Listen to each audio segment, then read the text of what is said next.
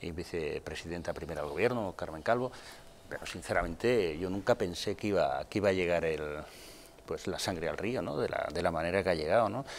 aquí encima de la mesa se han puesto un montón de epítetos sobre la personalidad de, de Sánchez y el culto a la persona y el culto a él y después el culto a él. ¿no?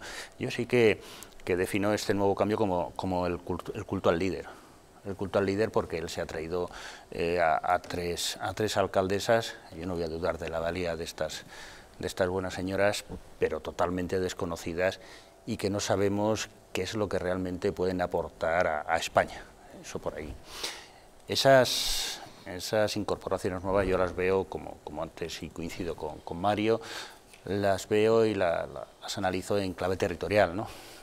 Yo creo que Sánchez eh, tiene prácticamente a líderes sanchistas en casi todas las comunidades autónomas, pero le falta, le falta Aragón, le falta Castilla-La Mancha eh, y le falta esto, Valencia, Extremadura lo tiene convencido.